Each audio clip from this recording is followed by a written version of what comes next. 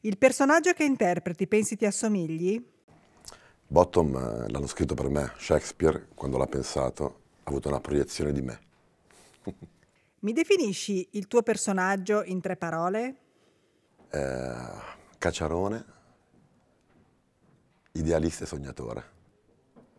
Qual è la battuta del tuo personaggio che preferisci e perché?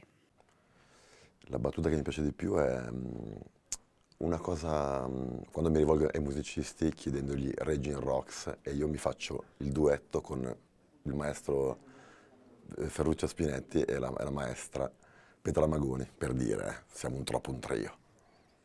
Fino ad oggi, qual è il sogno che hai realizzato e quale ancora no?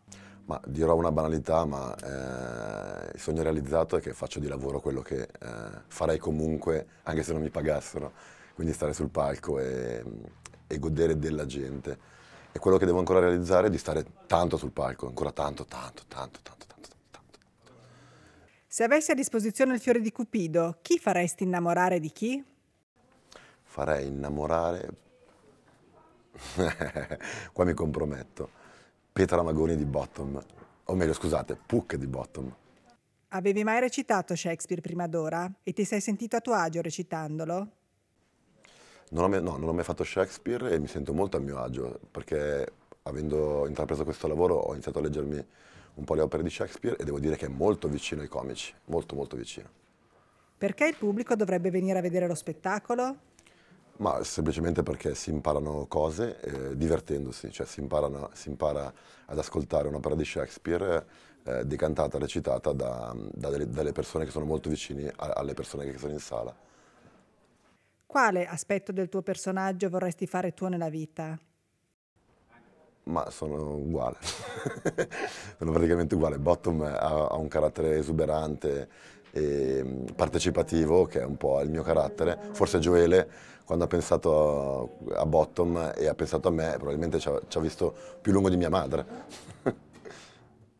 Qual è il ricordo più bello che ti rimarrà di questo sogno? E, mm, sicuramente il gruppo, io non ho mai lavorato in compagnia, ho sempre lavorato in duo e devo dire che, che mi spaventava all'inizio perché non è facile, dopo 15 anni di, di duo eh, provare un'esperienza di, di, compagnia, ma invece è stato molto divertente ed è la cosa che in assoluto mi porterò dietro, ovvero la, la socialità che crea il teatro. Quale altro personaggio di Shakespeare vorresti interpretare? Ma eh, sicuramente vorrei fare, mi piacerebbe fare Calibano, il mostro della tempesta, per fare mio, perché adoro mostrificarmi in scena. Ciao a tutti, B8M.